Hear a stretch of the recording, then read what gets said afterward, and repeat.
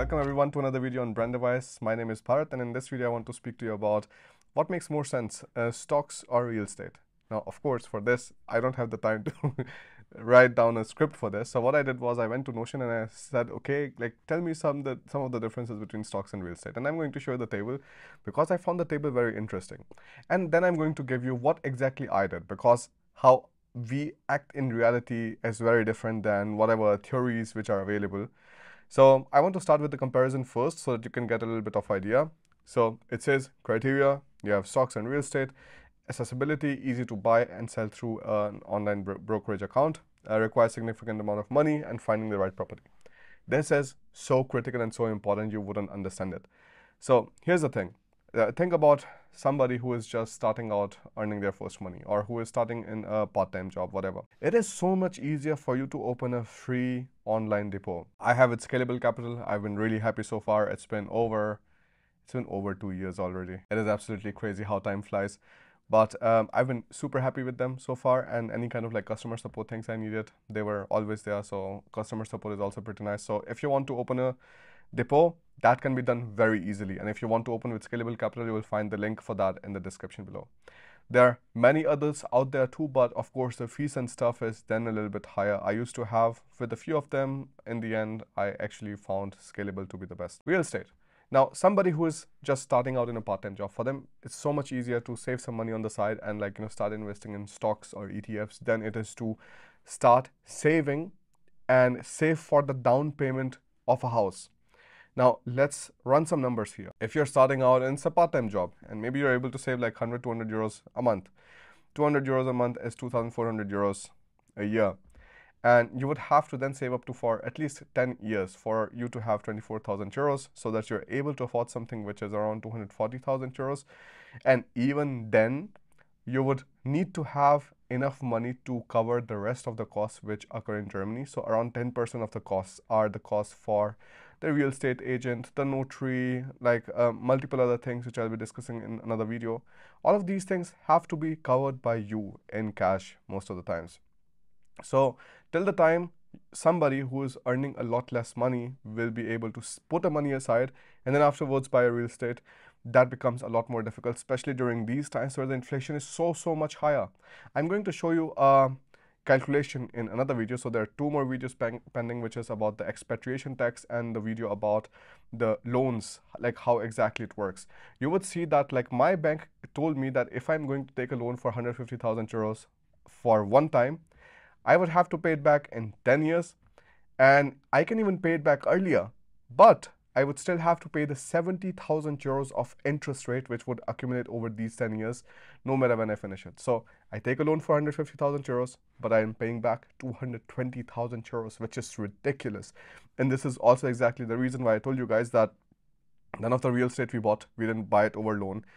And if you feel comfortable with the feeling of having a loan, of like, you know, being accountable to somebody else, like to answer to somebody else if you are comfortable with that feeling of course you can go for it.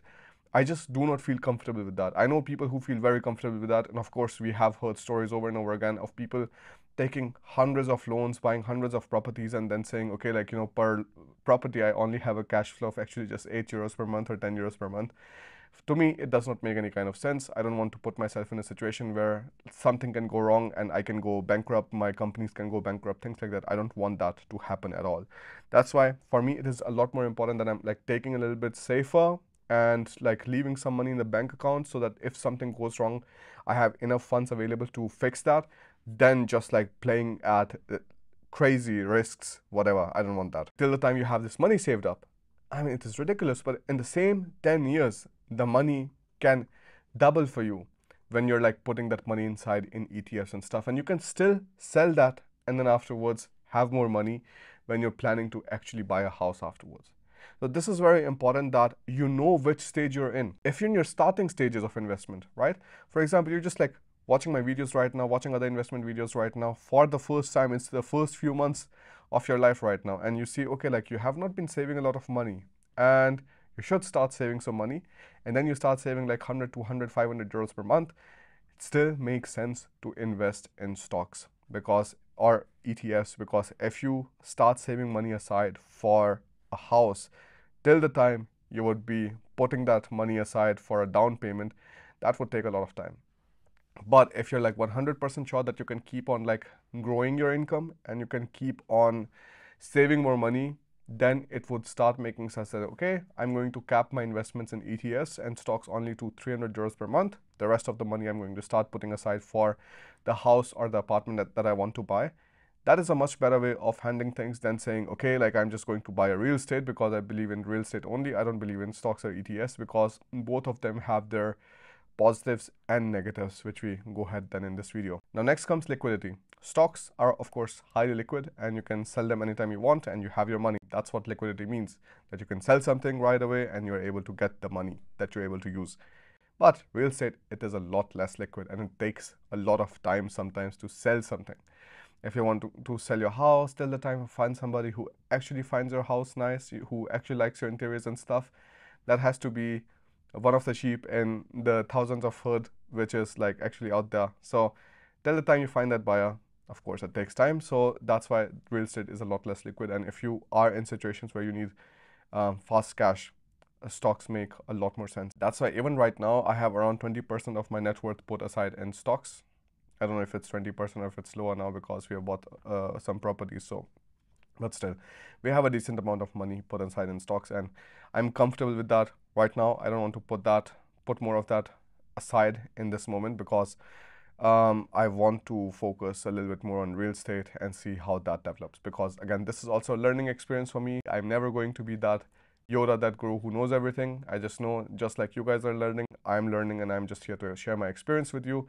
because I've simply seen more things, I've done more things, and I'm in a different situation in my life right now where I'm able to afford to take some more risks and talk about them here on this channel. Now, talk about the potential returns. If you're talking about stocks, of course, there are chances of higher returns in a shorter period of time, but that almost never happens with real estate. There are some tricks we learned where you're able to kind of like double your money in real estate in within a year or two, but that is um, yeah that is not really the norm. Like you're not able to do it like consistently in real estate as much as you might be able to do it with stocks. Then afterwards the risk. You actually have a lot higher risk with the stocks because you just never know if like things drop to zero because nobody can tell me that like things cannot drop to zero things can all the time. It can like become some ridiculous amount and then you're like okay like things are gone. I don't have anything in hand. And the reason we wanted to then go towards real estate was because with all of this banking crisis and stuff like we don't want to have a crazy amount of money only in stocks because okay if the stocks go down then we have some real estate. If real estate goes down then we have some stocks. This is the kind of situation you want to be in. Like you don't want to be just 100% in one single place only. That is not really helpful for you. Uh, real estate lower risk and more or less stable market unless there are also some situations. So for example don't let anybody tell you that real estate only goes up in price. Real estate can also really screw up um, for example, if there's some kind of like, you know, let's say a, a refugee shelter like uh, got built all of a sudden and maybe like there are situations where like people don't want to start living in the area because again like you can write whatever comments you want about the refugee shelter thing, but there is a general feeling of uh, feeling more unsafe when there's some kind of like these shelters built right next to your place. I remember in Denmark, the house that we had, like previously, there used to be a homeless shelter like right behind it, and like because of that, the price of the property dropped massively.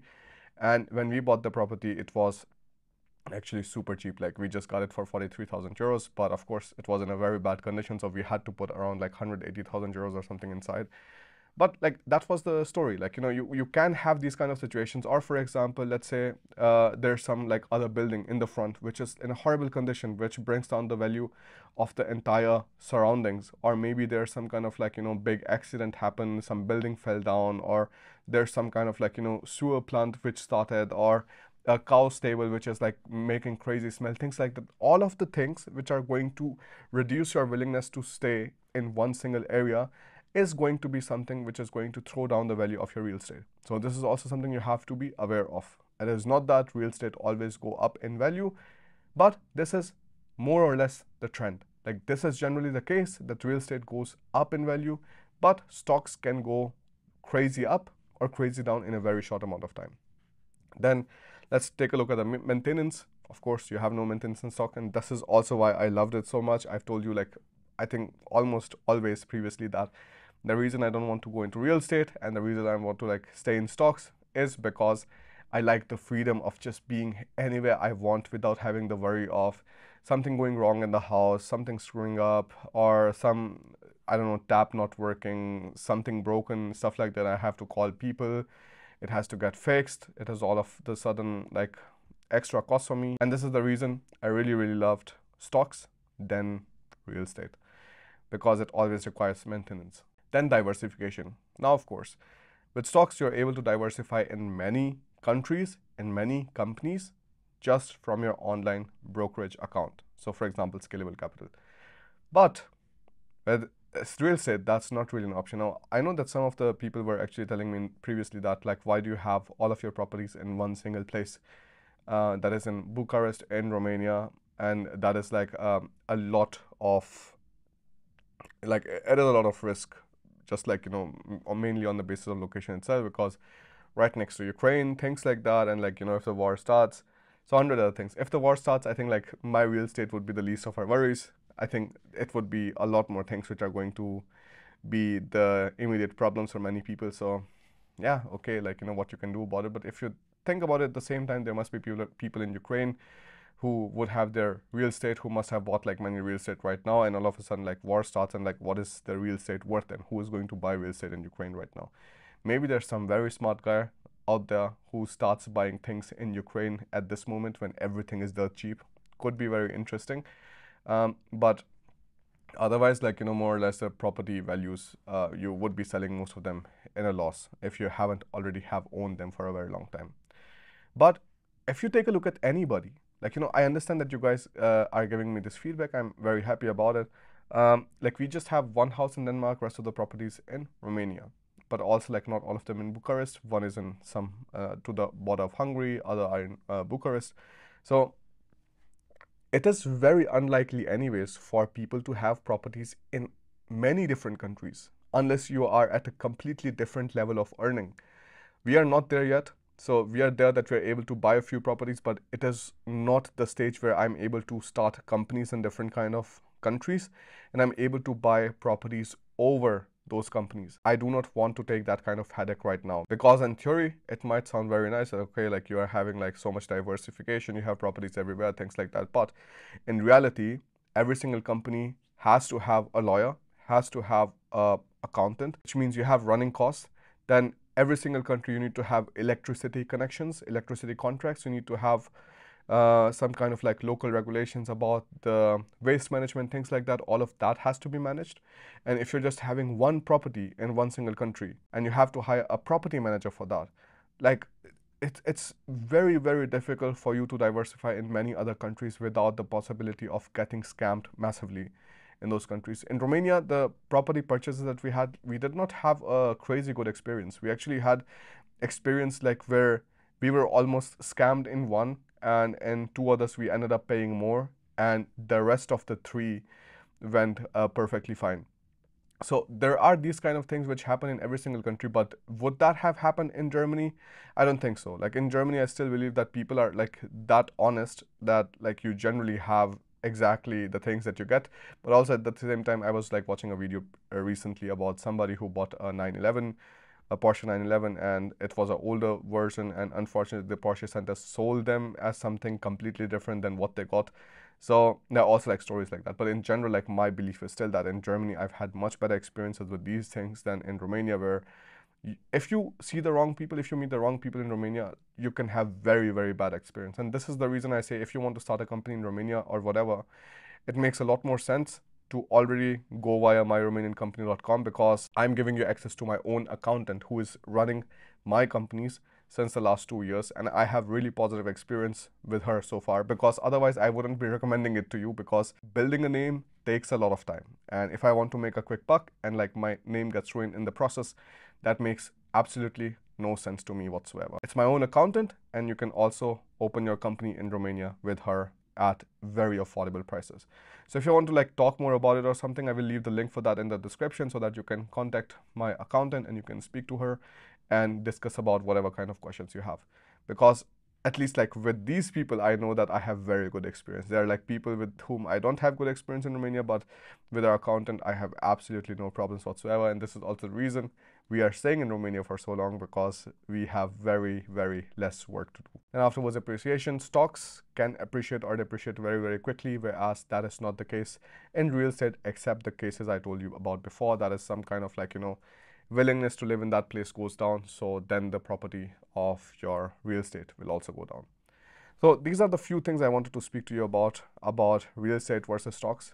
Like I said, there are stages in your life where you would be better off while you're investing in stocks and there's stages in your life where you'll be better off while you're investing in real estate. And what kind of stage you're at, for that you have to do some kind of calculations. You have to see how much money you're making, how much money you're saving, and how much money you're able to increase afterwards. These are all very important parameters that you have to sit down and decide so that you're able to make some kind of plan for it, right?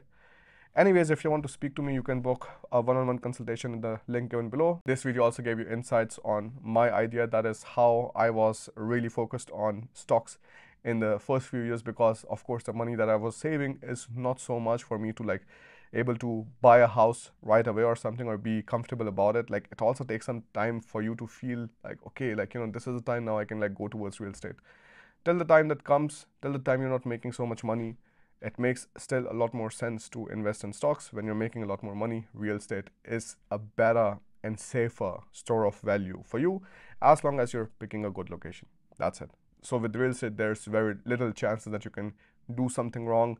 Whereas with stocks, there are chances you can do something wrong and there are chances it can go to complete like ridiculous uh, losses.